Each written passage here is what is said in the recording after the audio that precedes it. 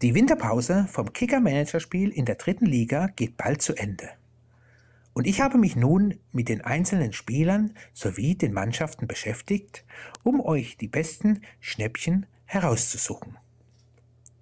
In Teil 1 möchte ich euch gerne die kompletten Mannschaften vorstellen mit den Spielern, von denen ich denke, dass sie interessant für euer Team sein können. Im zweiten Teil möchte ich euch dann die richtigen Schnäppchen vorstellen und im dritten Teil die Spieler, die man unbedingt in seinem Team haben sollte.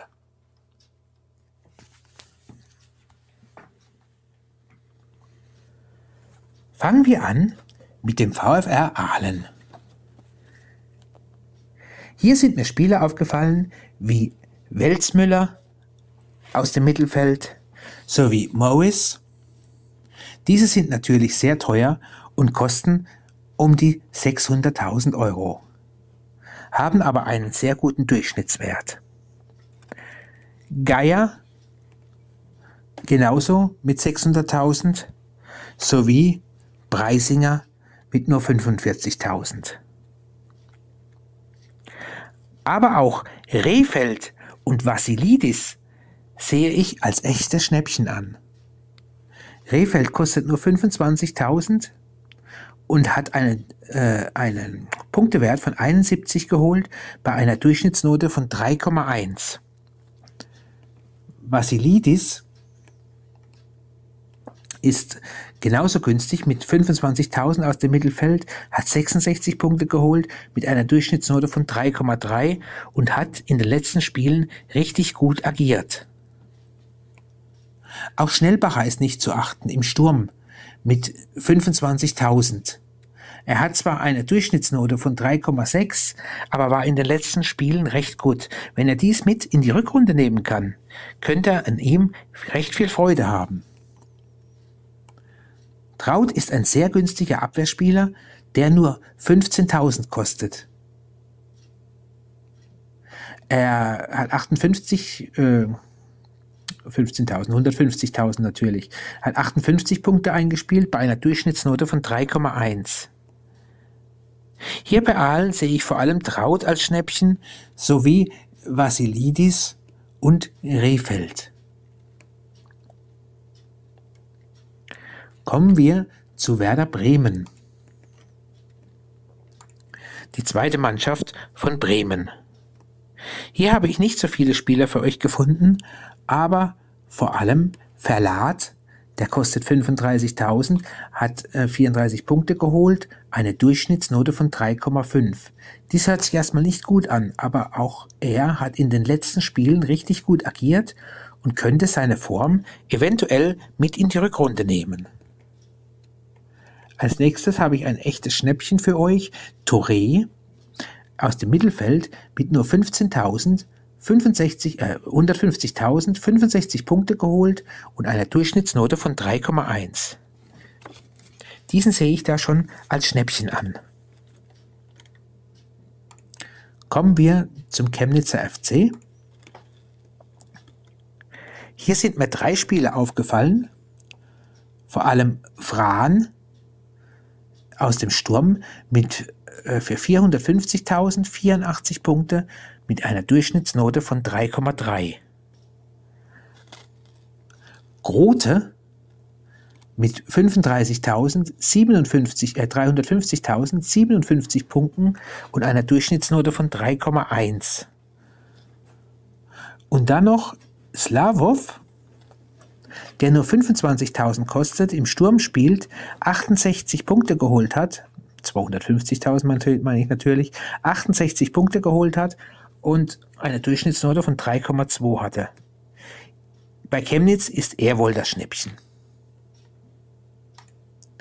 Nehmen wir Erfurt, die Rot-Weißen. Hier habe ich euch Möckel rausgesucht für 25.000 39 Punkte geholt, 250.000, 39 Punkte geholt und eine Durchschnittsnote von 3,2. Dazu noch äh, Laurito und Menz. Wenn ich sie jetzt wieder finde. Äh, Laurito auch für 25.000, eine Durchschnittsnote von 3,2. Und Lenz haben wir wieder übersehen. Ja, ich finde ihn gerade gar nicht mehr. Wahrscheinlich hat er jetzt gewechselt in der Zwischenzeit. Ich habe es nicht mitbekommen. Wo ist der Mensch?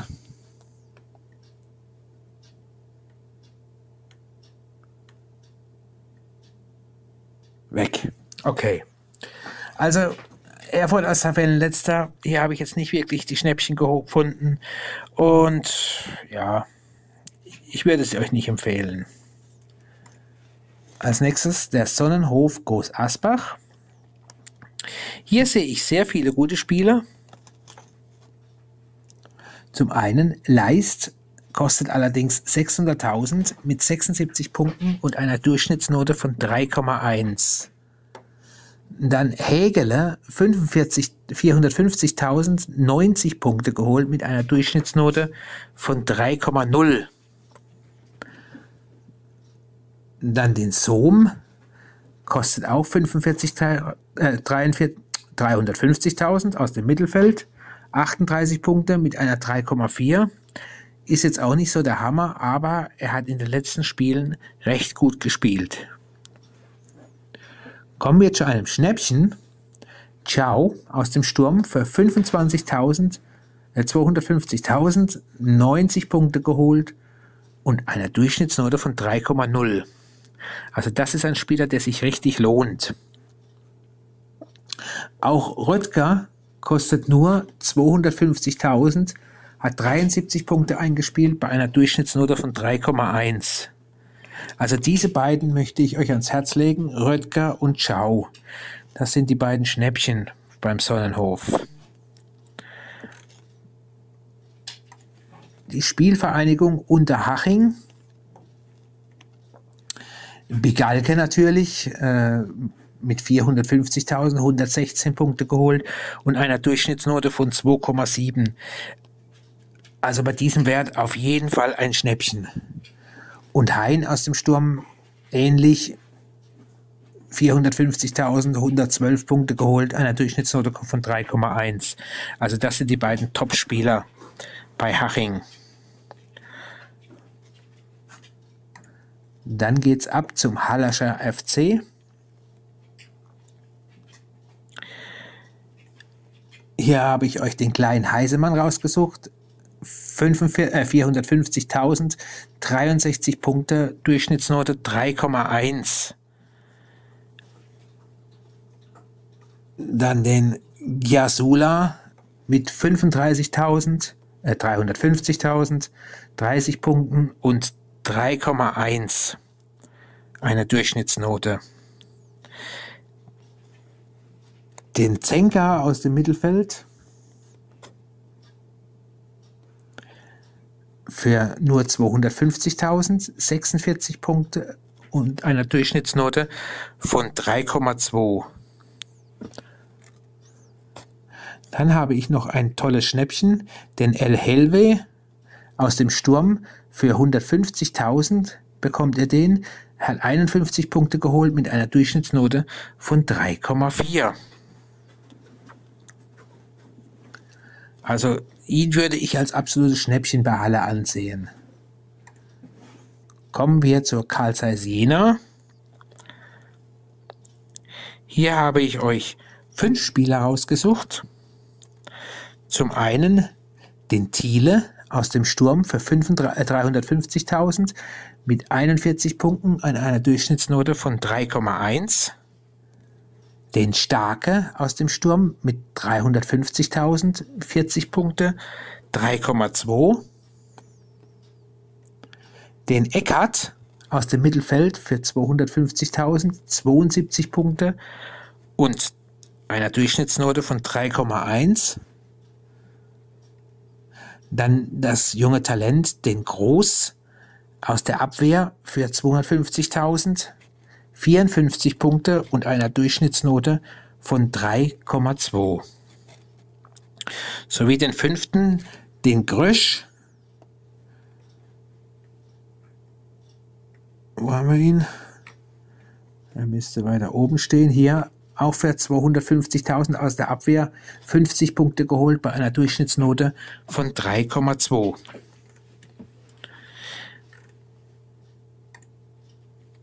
Dann kommen wir zum Karlsruher SC. Hier habe ich euch sieben Spieler rausgesucht und davon vier Schnäppchen. Den Gordon, ja, kennt jeder. Aus der Abwehr kostet allerdings 600.000, 51 Punkte, 3,3. Hat am Anfang nicht stark gespielt, daher ist die Spielernote sehr schlecht, äh, die Durchschnittsnote. Äh, ist aber in letzter Zeit wieder stark am Kommen. Dann bei Pisot war es recht ähnlich. Er hat auch eine schlechte Durchschnittsnote, weil er am Anfang recht schwach war.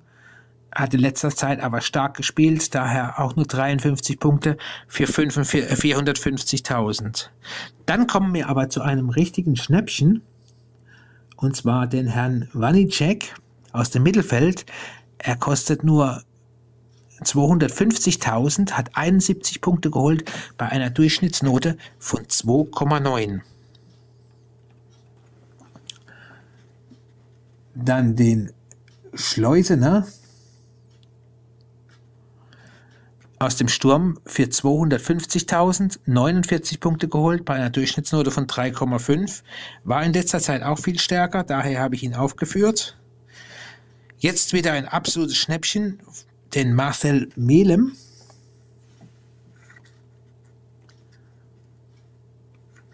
Kostet nur 150.061 Punkte geholt bei einer Durchschnittsnote von 2,7. Dann habe ich für euch noch den Kanoglu, auch nur 150.000 aus der Abwehr. 42 Punkte geholt mit einer Durchschnittsnote von 3,3 und den Muslia, der kostet sogar nur 50.000, 44 Punkte geholt und eine Durchschnittsnote von 3,3. Also hier möchte ich euch als Schnäppchen den Vanicek, den Marcel Melem, den Konoklu und den Musilia auf jeden Fall wärmstens empfehlen. Die erst beiden genannten auf jeden Fall. Kommen wir zur Fortuna Köln.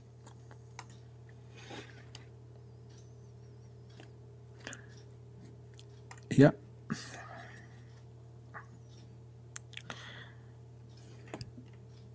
Hier Damiani ist klar, ähm, aber eigentlich äh, sehr teuer. Genauso wie Menz, auch ein super Spieler, aber auch noch recht teuer. Ferrado Puldo, auch genauso teuer. Äh, Uafero schon günstiger, super Durchschnittsnote mit 2,7.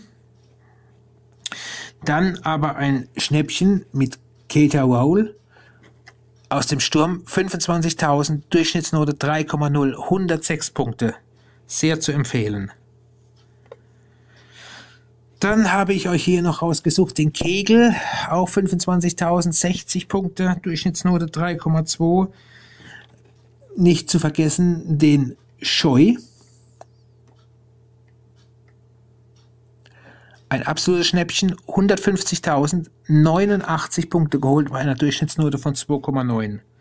Also Cater Rowell und Scheu auf jeden Fall sehr zu empfehlen. Interessant sind auch noch Ernst für 150.000 sowie Kessel für 150.000. Auch noch zwei Schnäppchen, über die man nachdenken kann. Dann die Sportfreunde aus Lotte Hier gibt es ja den altbekannten Day für 45.000. Kein schlechter Spieler, eigentlich sehr gut, aber hat auch seinen Preis. Genau wie Wendell für 35.000, auch nicht zu vergessen. Straight genauso ein interessanter Spieler auf der Abwehrposition. Aber hier habe ich noch ein super Schnäppchen für euch, den Österhellweg kostet nur 150.000, hat 68 Punkte geholt und eine Durchschnittsnote von 3,0.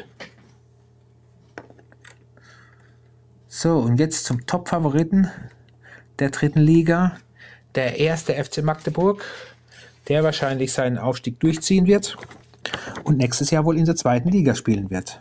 Allen voran Beck, natürlich sehr teuer.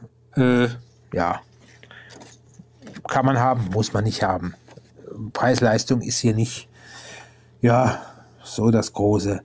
Türpilz genauso 35.000, ja, hat eine sehr gute Durchschnittsnote, aber 350.000 ist auch nicht gerade wenig. Hier möchte ich euch eher noch den Niemeyer empfehlen. Der Niemeyer kostet nur 250.000, hat 104 Punkte geholt und eine Durchschnittsnote von 2,9.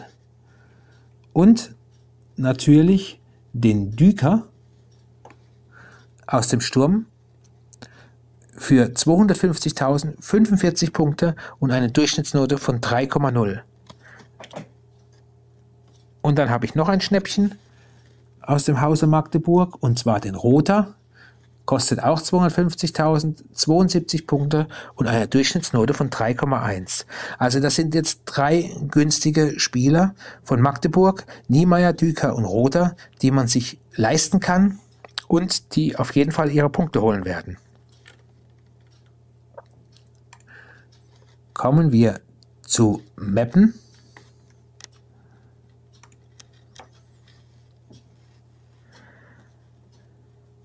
Meppen, ja, wohl der bekannteste Stürmer ist Giert für 25, also 250.000.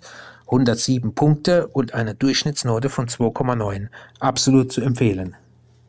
Genauso wie natürlich Kanatowski für 250.000 mit 82 Punkten und einer Durchschnittsnote von 2,9 sowie den Balmat aus dem Mittelfeld, der auch nur 150.000 kostet, 58 Punkte bereits geholt hat mit einer Durchschnittsnote von 3,0. So, dann die Preußen aus Münster.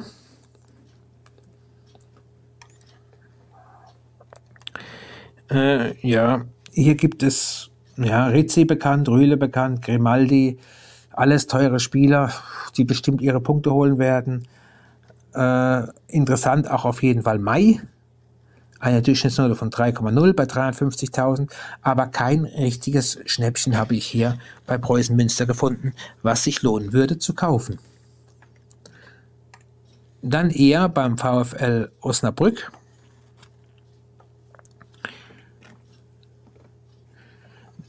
Den Wachs für 250.000 mit 39 Punkten, einer Durchschnittsnote von 3,3, war in letzter Zeit auch recht gut.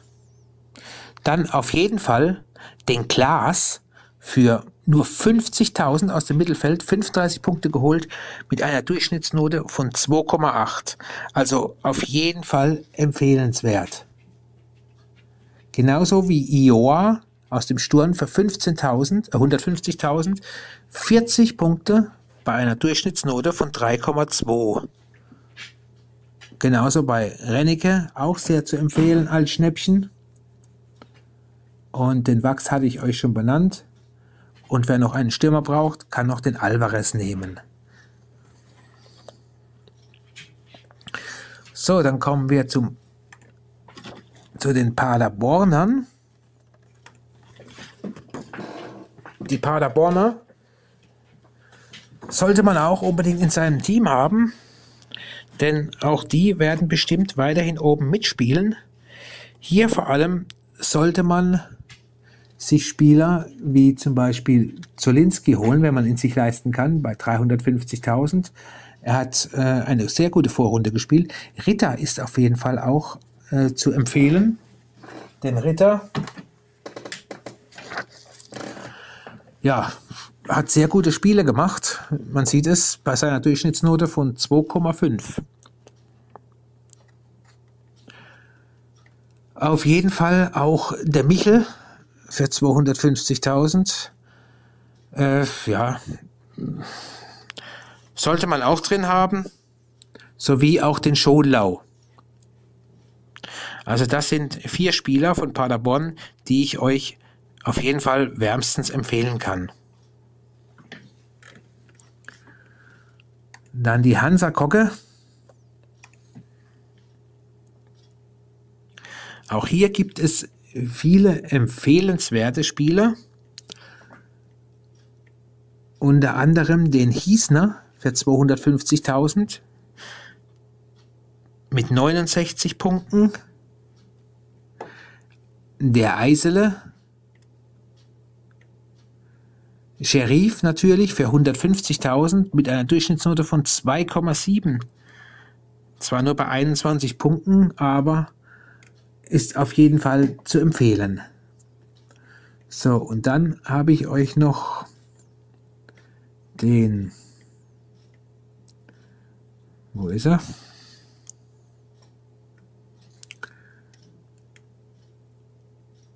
Den NSAFE rausgesucht, hat auch eine Durchschnittsnote von 3,2 für 150.000. Also das sind Spieler von den Rostockern, die ich euch empfehlen kann. Den Rostockern traue ich noch sehr viel zu in der Rückrunde. Also sie werden mit Sicherheit noch oben angreifen. Also es wird noch ein interessantes Rennen. Ich denke mal, die Magdeburger werden es durchziehen, aber Platz zwei und drei sind da noch recht offen. Kommen wir zu den Wenern, äh, die mit Sicherheit auch da oben stark mitspielen werden und um den Aufstieg mitkämpfen wollen. Hier vor allem nicht zu vergessen, den Scheffler, der 350.000 kostet, bereits 128 Punkte geholt hat. Genauso äh, wie auf jeden Fall Mockenhaupt kostet das gleiche bei einer Durchschnittsnote von 2,8 und 106 Punkten. Auch nicht zu verachten sind Ruprecht sowie Andricht. Auch Breitkreuz kann man sich darüber Gedanken machen. Andricht nur 25.000 zum Beispiel. So, und dann haben wir noch die Würzburger. Denen traue ich vor allem sehr viel zu. Äh, ich denke mal, die Würzburger sind sehr schlecht gestartet und haben dann jetzt aber eine Wahnsinns-Endspurt hingelegt. Und ich könnte mir vorstellen, dass die Würzburger noch der Geheimfavorit der Rückrunde sein werden und bestimmt ja, sich noch in die Top 3 hineinspielen können. Hier sollte man vor allem daran denken, den Felix Müller in sein Team zu holen. Er kostet nur 250.000, hat 81 Punkte geholt bei einem Durchschnittswert von 3,0. Skalatidis hat auch die letzten Spiele sehr gut äh, gespielt, ist bestimmt auch nicht zu unterschätzen. Genauso wie Neumann, der allerdings dann schon wieder ein bisschen teurer ist. Äh, Taffertsdorfer sollte man auch nicht vergessen für 350.000. Also das sind Spieler, äh, Würzburg, also wer, wer noch ein bisschen was aufholen will und ein bisschen Risiko spielen will, sollte sich mal Gedanken über die Würzburger machen. Also ich denke, dass diese Spieler oder diese Mannschaft noch etliches in der Rückrunde erreichen wird. Und die letzte Mannschaft ist, sind die Zwickauer. Hier möchte ich euch Spieler wie zum Beispiel den Wagner empfehlen. Für nur 50.000, 28 Punkte hat er geholt, bei einer Durchschnittsnote von 3,3. Der Schröder für 150.000, 61 Punkte, eine Durchschnittsnote von 3,0. So, und jetzt möchte ich euch noch ein paar Schnäppchen benennen, ja, die man wahrscheinlich unbedingt in seinem Team haben sollte. Das sind von Aalen zum Beispiel Fasilidis, habe ich euch vorhin schon äh, genannt. Von Groß Asbach ist es Ciao, also ein absoluter Topspieler für nur 250.000. Haching natürlich Bigalke. Wer den im Team hat, wird immer wieder Freude an ihm haben, denn er wird seine Punkte auf jeden Fall holen. Dann Wanicek von Karlsruhe. und natürlich Marcel Melem vom KSC. Also das sind zwei Spieler, die sich auf jeden Fall lohnen, in sein Team zu holen. Bei den Kölnern ist es Cater Rule für 25.000, ein absolutes Schnäppchen, den man drin haben sollte, sowie auch den Scheu für 150.000. Dann möchte ich euch noch wärmstens, wie gesagt, den Niemeyer von Magdeburg sowie den Düker von Magdeburg empfehlen. Von Metten den Giertz sowie den Granatowski und von Paderborn den Srebeni sowie den Michel und den Schönlau. Alles Top-Spieler, die man unbedingt in seinem Team haben sollte, wenn man die Möglichkeit hat, diese zu holen. Bei Rostock habe ich den Hilsner als Topspieler rausgesucht, bei Wehen den Möckenhaupt sowie den Scheffler. Ja, und bei Würzburg, wie gesagt vorhin, den Felix Müller, den Taffersdorfer und wenn man das Geld hat, natürlich den Neumann. Also das waren jetzt 12 bis 14 Spieler, ja, von denen man sich sozusagen Must-Have-Spieler, wenn man die Möglichkeit hat, diese sich in sein Team hineinzuholen. Wenn ihr noch weitere Spieler wisst oder noch Spieler kennt, die, die man unbedingt im Team haben sollte, schreibt mir dies doch einfach unten in den Kommentaren. Lasst mir ein Like da, wenn euch der Beitrag weitergeholfen hat. Und abonniert meinen kostenlosen Kanal, damit ihr immer die neuesten Videos sofort erhaltet. Bis bald!